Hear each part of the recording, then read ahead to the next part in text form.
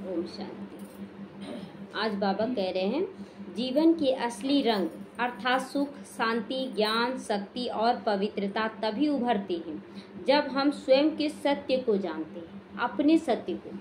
पहला सत्य क्या है? पहला सत्य क्या है? मैं आत्मा हूँ। और दूसरा सत्य क्या है? आत्मा में सार सात गुण उसमें डाले हुए हैं। उसमें आप रूपी हैं उसमें डालना नहीं है। बस मर्ज और इमर्ज का खेल है। तो दूसरा सा, सात गुण है हमारे अंदर। तीसरा सत्य क्या है? तीसरा सत्य क्या है? कि हम उसकी संतान है परम पिता जो पूरी दुनिया का रचयता है। ये तीसरा सत्य है। चौथा सत्य क्या है? देवी देवता हैं पूरे जो ड्रामा बना हुआ पाँच हज़ार साल में उसमें हमारा हीरो पार्ट है। सबका। हीरो पार्ट है, विशेष पार्ट है। हम अपने पार्ट को हीरो बनाए, विलन बनाए या कुछ बनाए, लेकिन बाबा हमें हीरो पार्ट ही बोलता है। तो हम एक्यूरेट ये चार सत्य को पहचान जाएगा लोग, जो भी आत्मा है, पहचान जाएगा ना, वो सदा खुश रहे। कुछ मिल रहा, नहीं मिल रहा, फकीर का था ना, कि मिला तो भी आराम से रहा, राजा के यहाँ। नहीं मिला गाना गाते हुए रोड पे चल रहा, मिल रहा तो भी ठीक, नहीं मिल रहा। ये स्थिति। कोई शिकायत नहीं। मिल रहा, नहीं मिल रहा, ये रखना, वो रखना, सब कुछ यहीं रह जाएगा। लेकर जाएँगे, अपनी आत्मा के सातों गुण जो यहाँ पर इमर्ज किए हैं। सुख, शांति, आनंद, प्रेम, पवित्रता, ज्ञान और शक्ति, ये सातों गुण। तो पहले, सबसे पहले खुद को पहचाने मैं कौन? मैं एक आत्मा हूँ, और आत्मा तो साधारण नहीं हूँ। कैसी आत्मा हूँ? तो सातों गुणों से भरपूर आत्मा हूँ। सातों गुणों से मैं भरपूर आत्मा हूँ। उसके बाद तीसरा, हम भगवान की संतान डायरेक्ट क्यों? कैसे पता चले कि हम लोग भगवान की संतान हैं? भगवान की संतान माना घड़ी घड़ी अनुभव करवाता है बाबा, कि बच्चे, मैं तुम्हारे साथ हूँ।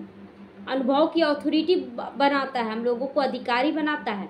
अनुभव का अनुभव बनाता है हमारा हमारे अंदर, कि देखो, हम तुम्हारे पल पल साथ हैं, लेकिन क्या करते हम लोग? देह भान में आकर बाबा को किनारा कर देते तो बाबा क्या करे? तो बाबा कहता, पहले अपने स्वयं के सत्य को पूरी तरह से पहचानो, फिर मानो भी। अब जान तो गए, मान नहीं रहे। तो होगा ठीक। जान गए हैं कि मैं आत्मा हूँ, मैं आत्मा सब कुछ कर सकती हूँ। देह भान में आप करेंगे, एक परसेंट। आत्मिक भाव में करेंगे, दस परसेंट। और परमात्मा की याद में करेंगे तो सौ परसेंट प्राप्ति। कितना सहज है। इतना सहज तो कभी किसी जन्म में नहीं होगा। एक का सौ गुना। हो जाएगा। लेकिन स्थिति अपना एनी टाइम जब भी सुख का फीलिंग आए। होता है ना कभी कभी सुख का फीलिंग नहीं, आज बेटा बेटी बहुत अच्छा से बात कर रहा है, आज मेरा बेटी बेटा बेटी जो जॉब में लग गया, आज उसका शादी तय हो गया, खुशी है ना? अच्छा लगता है कि बुरा लगता है? अच्छा लगता है। तो अच्छा लगता है तो बुरा भी लगेगा। क्यों? देवभान के अनुसार अगर सुख की फीलिंग ले रहे ये देवभान है ना? बच्चों की शादी तय होगी क्या हो गया उससे? क्या हो जाएगा उससे? आप शादी तय किए सारा तैयारी किए शरीर छोड़ दिए सुख मिलेगा? सुख नहीं ना मिला? लेकिन जब सेट हुआ शादी तो आप कितना उछले? अरे मेरा बे, मेरी बेटी का शादी लग गया आप भी मिठाई खाओ हम भी खाते हैं है ना? उसके बाद टूट गया तो? अब टूट गया तो? क्या करेंगे? और अचानक, किसी का मृत्यु हो गया तो? इसलिए बाबा कहता है कि देह भान में न सुख की फीलिंग न दुख की फीलिंग हमेशा आनंद की फीलिंग आनंद। तो घड़ी घड़ी हम लोग मतलब जीवन में हम हमारे जीवन में भी, जैसे बच्चे आए, रिज़ल्ट लिखा है मम्मी नाइन्टी नाइन परसेंट आ गया। अब इसमें खुश क्या होना? खुश क्या? ड्रामा में ये नूंदा हुआ कि तुम नाइन्टी नाइन परसेंट हर कल्प में लाओगे तो आया, हम लोग खुश हो गए, बड़ा अच्छा है। ये स्थिरता अंदर में लाना है। खुशी क्यों? हाँ ठीक है, बहुत अच्छा लाया। और मेहनत करो। और मेहनत करो। बोल दिए, अंदर से स्थिरता रखना अंदर से। लेकिन ये चीज़ सबका ही नहीं रहा। जैसे कि अभी बोले, बेटी का शादी तय हो जाएगा तो खुशी होगा। वही चीज़ संकल्प ही चला रहे आप लोग, कि शादी तय हो जाए तो ऐसे करे, वैसे करे, यही। और ये में सारा व्यर्थ जा रहा है। इसमें सारा संकल्प व्यर्थ जा रहा है, आपका खर्च व्यर्थ जा रहा है, सब कुछ व्यर्थ जा रहा है। क्योंकि ये ड्रामा सब आत्माओं का अपना अपना नूंद है। हम लोग क्या करते हैं, उसमें उलझ जाते हैं और यही दुख की फीलिंग है। यही दुख की फीलिंग है। और हम लोगों को एकदम अंदर से बुद्धि से ना एकदम साइड पकड़ लेना है। तो बाबा कहता है हम इन रंगों के का अनुभव इंद्रियों के आकर्षण में फंस कर, कर फंस कर करने का प्रयास करते हम सोचते ना कि मतलब सुख ये सुख क्या है? सुख क्या है? परमात्मा को पाने का सुख। लेकिन हम इंद्रियों का सुख में बिज़ी हो जाते इंद्रियों का सुख। तो इंद्रियों के सुख में क्या होगा? हलचल होगा। वो हमेशा के लिए सुख नहीं रहेगा। लेकिन जो परमात्मा के साथ का सुख है, वो हमेशा रहता है। वो बहुत अच्छा लगता है, क्योंकि हर पाँच हज़ार साल का ये ड्रामा नूंधा हुआ है। हम क्यों सुख दुख, हमें ये खुशी होनी चाहिए, भगवान मिला है। भगवान मिला है। मीराबाई बदनाम हुई। मीराबाई बदनाम हुई। हम भी बाबा की याद में बदनाम हो गए हैं। कितना मज़ा है। कितना मज़ा है, इसमें मज़ा लेना है। कि हाँ कौन, किसके लिए बदनाम करे? किसी देधारी लड़के के पीछे नहीं भागे हैं, है ना? कि कोई बदनाम हाँ जितना बदनाम करो, भगवान के पीछे भागे। सोचो, भगवान से हमें प्यार हो गया है। तो ये नशा रहना चाहिए कि भगवान से प्यार हुआ, क्या कर लेगा? हम किसी को दुख तो नहीं दे रहे ना? ये अगर भगवान के साथ चल रहे तो मास्टर भगवान बन के ही चल रहे ना? पार्वती बन के चल रहे हैं ना, किसी को दुख की फीलिंग नहीं। यहाँ पर हम सब परिवार हैं। तो बाबा कहता है कि हम लोगों को सदा फीलिंग में रहना कि भगवान मिला है। लोग एक बार, एक किसी जगह जाकर, एक मतलब परिवार में थे तो जाकर बोली, अरे, इससे तो बात करेंगे नहीं शुरुआत में। इससे नहीं बात करेंगे। क्यों नहीं बात कीजिएगा? पूरा ओम शांति में तो रम गई है। तो वो बहन बोली, हमको ना कैसे ऐसे बोली? हमको तो और खुशी चढ़ गया कि उसको विश्वास हो गया कि हम पूरे रम गए हैं। हमको तो और खुशी मिला कि विश्वास तो हो रहा ना कि हम भगवान में रमते जा रहे हैं, हा? ये शुरुआत का कहानी। अब तो बहुत अच्छा है सब कुछ।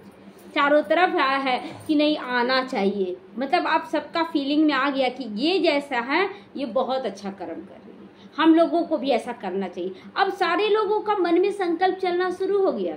और आना भी शुरू हो गया। तो अपनी स्थिति कैसे बनाना है? केवल मैं, मेरा बाबा और कुछ नहीं। बच्चे पढ़ाई करे वो तो नूंधा हुआ है। लेकिन मेरा प्यार कितना प्यार है, वो नूंधा नहीं हुआ है।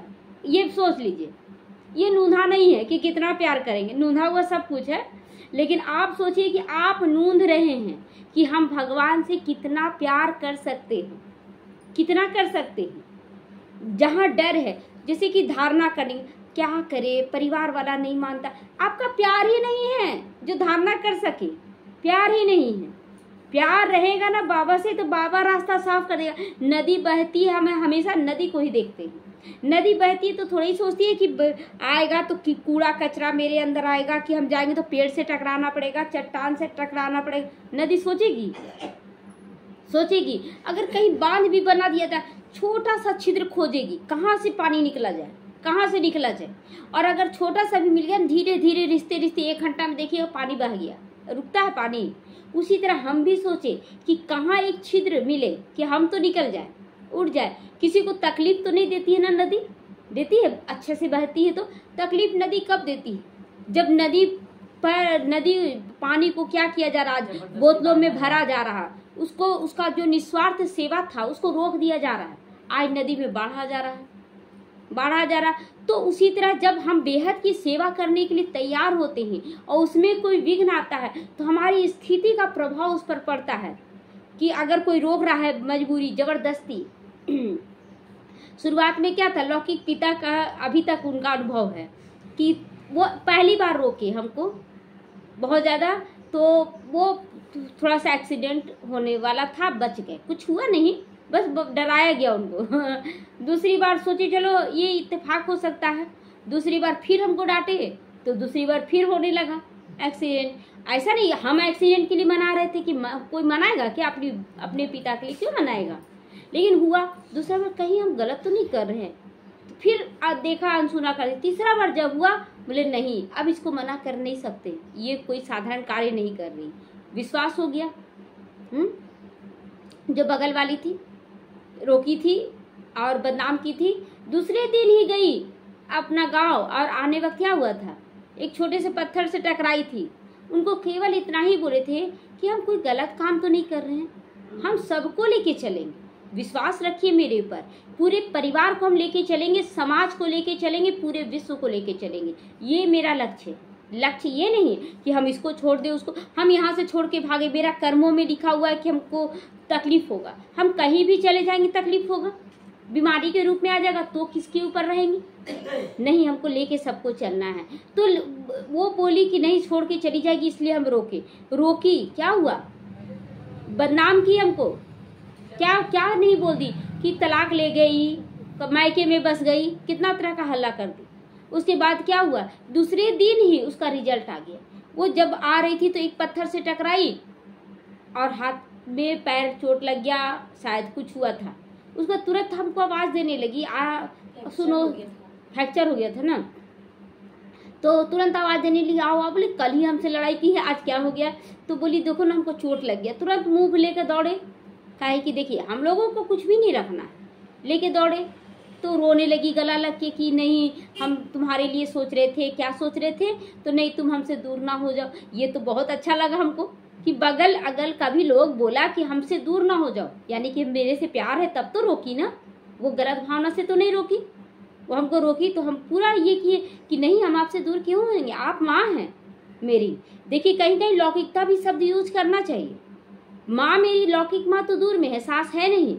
आप ही ना मेरी माँ हैं। हम आपको कैसे छोड़ देंगे? तो उनको आज तक लग रहा है ना कि बहुत अच्छा है। देखिए आज भी बहुत अच्छे से व्यवहार वो अंदर में क्या सोचे वो मतलब नहीं सामने से तो नहीं ना कुछ कर सकती है। हम लोगों को तो जितने लोगों से मिले सबको लेके चलना है सबको। दो हाँ तो बाबा कहता है इंद्रियों से उपराम होकर ये सब करो। इंद्रियों से उपराम मतलब ये भी सोचो ना कि जब हम बोल रहे हैं ना, किसी से हंस रहे हैं ना तो ये भी ड्रामा में नूंधा हुआ है। ये भी ड्रामा में नूंद है। बड़ा मज़ा आता है अब। अब खेल जो बाबा शुरू में बोलता था, खेल का मज़ा लो। अब मज़ा समझ में आने लगा कि कैसे मज़ा। जहाँ हम फंसे रहते हैं, थोड़ा सा भी माया देखती है, तभी विघन आता है। फंसे हुए और जितना हो सके समर्पण, देते जाओ देते जाओ। शरीर का भी देते जाओ। सेवा। मन का भी देते जाओ। मेरा है एक एक संकल्प बाबा केवल बेहद के कार्य में लग जाए। तो बाबा कहता है इंद्रियों के सुख से उपराम रहो। कोई भी देह भान की जो परिस्थितियाँ हैं उससे उपराम रहेंगे ना तभी वो मज़ा मिलेगा। पहले हम नहीं जानते थे कि ये, ये मतलब आनंद क्या होता है। आनंद हम लोग सोचते हैं ना कि जो सुख है ना यही आनंद है। ये आनंद नहीं है। आनंद है? आनंद तो तब है जब विघन बड़ा आए और उसको पार कर विजयी बनते। अंदर का सुख होता है है ना? फिर सुख में भी और पुण्य का खाता जमा करते हैं, वो आनंद है। दुख में भी सुख की फीलिंग कि भगवान मिला, मेरे साथ सब अच्छा होगा नशे से बोलते हैं कि मेरे साथ कुछ गलत हो ही नहीं सकता। ये आनंद है। उस पर विश्वास करना आनंद है। ये हम लोगों को रखना है। तो बाबा कहता है, अपने वास्तविक स्वरूप में टिको। अपने वास्तविक स्वरूप में टिक जाओ कि मुझ आत्मा को शरीर को बंदी बनाया जा सकता है। आत्मा को बंदी बनाया जाता है? आत्मा को बंदी नहीं बनाया जा सकता। है मेरे मन बुद्धि को नहीं बनाया जा सकता। लेकिन मेरा मन बुद्धि हमको ही बाँध रहा है पहले। हम ही को बाँध दे रहा है। तो पहले तो अपने बच्चों से आज़ाद हो जाइए ना। मन, बेटा और बुद्धि बेटी की आज़ाद हो जाएगी। क्योंकि इसमें लोग फंस जाता है। बेटा बेटी में ही फंस जाता है ना? बोलते हैं ना लोग कि जो किसी से हारे नहीं ना, वो बच्चों से हार जाते हैं। है ना? दूसरे को तो कंट्रोल कर लिए, अपने बेटा बेटी से कंट्रोल नहीं कर पाते। मतलब मन और बुद्धि आपका बेटा और बेटी है। तो आपका मन हरा देता है कि नहीं? क्या करे? कितना भी सोचते हैं कि कोई संकल्प ना चलाएँ, लेकिन चल ही जाता है। आपका बेटा बेटी आपके कंट्रोल में नहीं है। अभी से उसको धीरे धीरे धीरे धीरे अपने कंट्रोल में लीजिए। एक बहन है तो वो जॉब करती हैं। और जॉब करती है ना तो जॉब में मतलब ऊँचा पोस्ट है। ऐसे करो ऐसे करो, केवल उनका डायरेक्शन देने का, और कोई मतलब ज़्यादा काम नहीं है। डायरेक्शन देने का तो उनका आदत पड़ गया है कि काम कर रहे हैं। अब घर में भी कोई काज होता है ना तो जितने भी परिवार वाले हैं ना, सबको बोलते तुम इधर करो, तुम इधर करो। एक दिन बोल दिए कि, आप क्या कर रहे हैं? बिना ऑर्डर के सारा काम हो जाएगा। हाँ ये भी एक अहंकार है कि मेरा ऑर्डर से ही सारा काम हो रहा है। तो देखिए, ये कितनी और उन पर जब पड़ता है ना तो नहीं कर पाती है। हम लोगों को बाबा कहता है, लक्ष्मी और नारायण दोनों का स्वरूप धारण करो। हर एक स्थिति में सेवाधारी बनकर रहो। अभी हम मालिक नहीं अभी जो मालिक समझते हैं ना, वो बाद में नौकर बन जाएँगे। अभी हमको नौकर बनकर रहना है। और नौकर ने, और नौकर तो बने, लेकिन अंदर में फीलिंग ने हम लोग सब परिवार है। ये परिवार का फीलिंग ज़्यादा अच्छा लगता है। ये राजा, प्रजा, साहूकार, चलो बाबा बोलता है ना, हम क्यों बोलने जाए? हमें बोलना है, बाबा हमको तो अलौकिक परिवार में बड़ा अच्छा लगता है। सब परिवार के लोग हैं। नोक झोंक, हँसी, मज़ाक, सब कुछ चलता है। मज़ा आता है ना? कोई फीलिंग थोड़ी है कि हम राजा वो प्रजा वो साहूकार ऐसा नहीं। सब एक परिवार है। ये मज़ा। जब साई सीरियल देखते थे, बड़ा अच्छा लगता था। साई बाबा के पास जो भी आता था ना, एक परिवार की फीलिंग के साथ आता था। बहुत अच्छा लगता था। ये सब जो सीरियल देखने में ना, बहुत मतलब प्रेरणा भी मिला। पहले ये सब चीज़ हम बहुत देखते थे। तो बहुत अच्छा लगता था। तो बाबा हमेशा कहता कि, बच्चे, अपने आप को तैयार करो। बाबा ने कहा है कि, आप आप स्वयं के लिए भी सोचना बंद कर दो। अपने लिए भी सोचते हैं ना कि ये हो जाए, बाबा, ऐसा कर लें, मेरा ये तैयार हो जाए, ये अपने लिए सोचना है। हमेशा बेहद के लिए सोचो कि लोग आज बंधन में बाबा, उनको आज़ादी मिल जाए। बाबा, ये कलयुग है, कलयुग में सभी दुखी हो रहे हैं। बाबा, उनको आज़ादी मिल जाए। हमेशा चौबीस घंटे यही संकल्प बेहद का। तो आपका कल्याण होगा कि नहीं? जब बेहद का सोचेंगे तो? बेहद पानी बरस जाए, ऊपर से पानी बरस जाए तो पानी जब बरसेगा तो आपके घर नहीं बरसेगा क्या? बरसेगा ना? तो उसी तरह है कि हमें चौबीस घंटे बेहद का सोचना है। इसका ये ऐसा हो जाए, इसका ऐसा हो जाए, ये सब बाबा कहता ना कि छोटी बुद्धि वाला का काम है। इसका ठीक हो जाए, उसका ठीक हो जाए, कुछ नहीं। जो हो रहा है, जानते लौकिक में अगर, लौकिक माँ भी कभी दर्द होता है ना पैर में या कुछ भी होता है, बोल, बोलती बार बार, सोचती ना हमको सकाश दे देगी। बोले, बिल्कुल नहीं देंगे। कोई सकाश उकाश नहीं। बाबा का बच्चा, बाबा तुम जानो, तुम्हारा बाप जाने। बिल्कुल भी नहीं। लौकिकता में तो बिल्कुल भी नहीं, बाबा जाने, क्योंकि फंसना नहीं है हमको कि फीलिंग भी आ जाए, बाबा माँ है ना, ठीक हो जाए, पापा है ना तो ठीक हो जाए। हाँ बेहद की दृष्टि रखते हैं तो एक साथ सबको सकाश दे, उसमें कोई मना नहीं आपकी स्थिति अगर उससे डिटैच है तो सकाश दे। अगर आप अटैच्ड हैं तो दीजिए सकाश तो पूरा होगा, लेकिन आपका उतना देर ना केवल संकुचित जमा होगा। बेहद का जमा नहीं होगा, संकुचित जमा होगा। तो अपनी स्थिति को डिटैच करके उसके बाद सकाश दे, कोई दिक्कत नहीं है। परिवार को क्यों नहीं देंगे? लौकिक परिवार है ना? देना भी है। देंगे, लेकिन अपनी स्थिति को चेक कीजिए। ऐसा नहीं कि भक्ति मार्ग जैसा, बाबा मेरे बच्चे को ठीक कर दो, मेरे पति को ठीक कर दो, ये कर दो, वो नहीं बाबा, मेरी स्थिति में कोई हलचल नहीं। बच्चे बीमार है। बाबा, आपका बच्चा है। आप जान रहे हैं कि इस बच्चे का हिसाब किताब कैसे चुकतू करना, चिंता क्यों करें? तब फिर आप सकाश देंगे कि बाबा, आपका हाथ रखा रहा ये बिल्कुल ठीक है। तो पूरा हो जाएगा।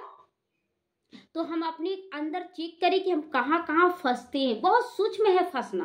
बोलते ना बड़े बड़े रस्सियों को तो हम काट दिए, लेकिन जो महीन तार होता है ना, उसको बंधे हुए और बहुत मज़बूत होता है। देखते हैं, प्लास्टिक का जो तार होता है, पतला कितना होता है? लेकिन मज़बूत होता है ना? कोई कोई मोटा ऊन भी ना फुसफुसिया होता है, टूट जाता है। लेकिन वो जो प्लास्टिक का तार होता है, एकदम महीन होता है। लेकिन इतना ज़ोर से बांधता है तो उसी तरह है कि हम लोगों को चेक करना है कि हम कहाँ कहाँ फंस रहे हैं।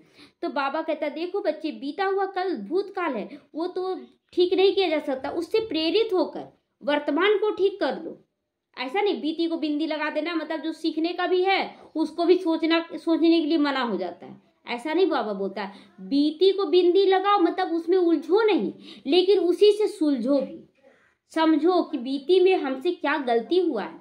उसके बाद उसको, उससे वर्तमान ठीक करो, और वर्तमान से आपका भविष्य नेचुरल है कि ठीक होगा ही, एकदम। तो अपनी स्थिति को बना कर चले, बहुत मज़ा है बहुत अच्छा लगे। और सदा काल के कभी कभी होता था, उदास होते थे तो अभी होता है, लेकिन बाबा को बोलते, बाबा, हमको सदा काल के लिए चाहिए। अब कभी कभी वाला समाप्त कर दो, तुम बोलते हो समाप्त कर, लेकिन अगर नहीं हो रहा से तो तुम कर दो। तो आपका स्थिति कैसे समझ में आएगा ना, कि आप नेचुरल की ओर जाएँगे। आप हर चीज़ नेचुरल की ओर जाएँगे। अपने आप आपको महसूस होगा कि एकदम स्थिर है। कुछ देखते हुए आपके ऊपर कोई फ़र्क नहीं पड़ रहा, कुछ भी देख रहे हैं। ये स्थिति है बाबा के समीप का कि कोई फ़र्क नहीं पड़ना चाहिए। ओम शांति।